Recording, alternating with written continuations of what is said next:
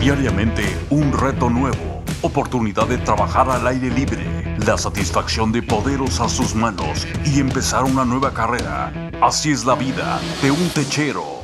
No se conforme con sentarse detrás de un escritorio, únase a un equipo y empiece a subir la escalera. Verdaderas oportunidades, pago fiable y un trabajo gratificante.